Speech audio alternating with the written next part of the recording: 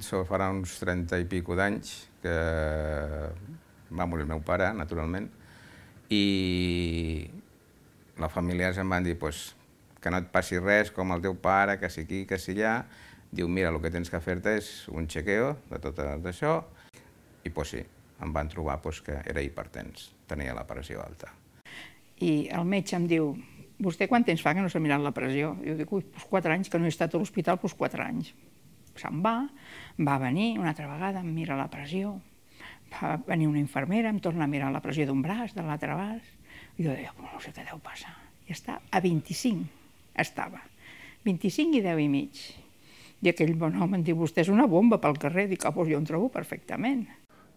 Em van, em van diagnosticar la hipertensió l'any 99 i la forma que me la van diagnosticar va ser perquè vaig tindre una hemorràgia nasal molt bèstia.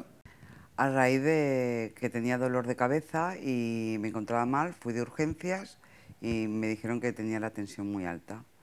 De que podia ser de que em vingués la pujada de tensió d'aquell moment per culpa de l'estrès de la feina. En mi caso era estrés laboral. Se me había desencadenado la hipertensión por estrés. Sincerament, no en tenia cap de símptoma jo. El que passa que és el, el veure que dius què és el que pots tindre. Si, si, si m'han dit que tenia hipertensió, doncs per un motiu seria, no? Però jo, sincerament, no, no trobava absolutament res, ni que em cansava, ni que el fer esport, ni res. Però no tenia cap símptoma de res, trobava perfectament jo. Si és que jo sóc molt nerviosa. Jo crec que és més nerviós que de menjar, perquè jo sempre he menjat igual.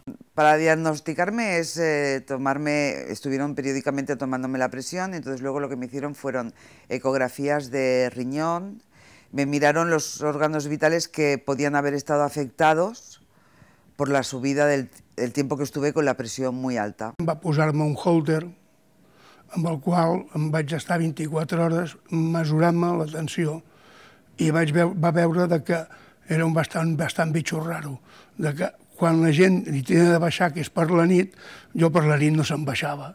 Sempre estava 17-12, 17-13, 18, i clar, a partir d'aquí, quan em van començar a medicar, tot això ja va començar a baixar, a baixar, a baixar, i ara ja fa possiblement, et diria jo, uns 10-12 anys, 14-7, 13-6 i mig, y ahora tomo media pastilla de una dosis un poquito más alta y, un, y media pastilla por la noche, porque tenía también mucha retención de líquido y eso hacía que me subiera la pressió.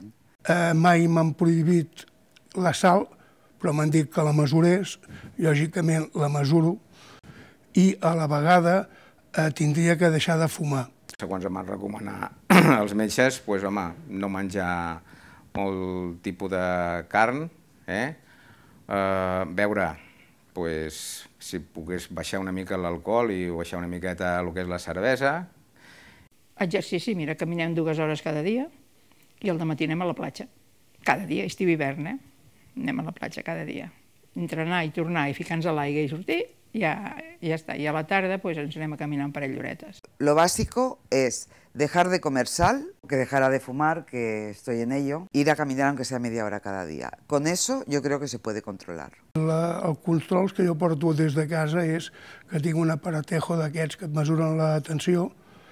Eh, no et diré que ho faci molt seguit, molt seguit, sinó que ho faig potser un cop cada semana, cada 15 días. Cuando te sube la presión no puedes tomarte nada si no vas al hospital. Però jo crec que espantar-se és el pitjor, perquè llavors puja. Si t'espantes, sí. I jo els diria de que no facin el burro i que procurin eh, fer cas del que t'està dient el metge, que sembla que sigui pesat, perquè hi ha vegades que et diuen tens a tornar a vindre d'aquí una setmana, tens a tornar a vindre d'aquí 15 dies, sembla que sigui pesat, però és una cosa que és pel teu bé, no és pel bé del metge.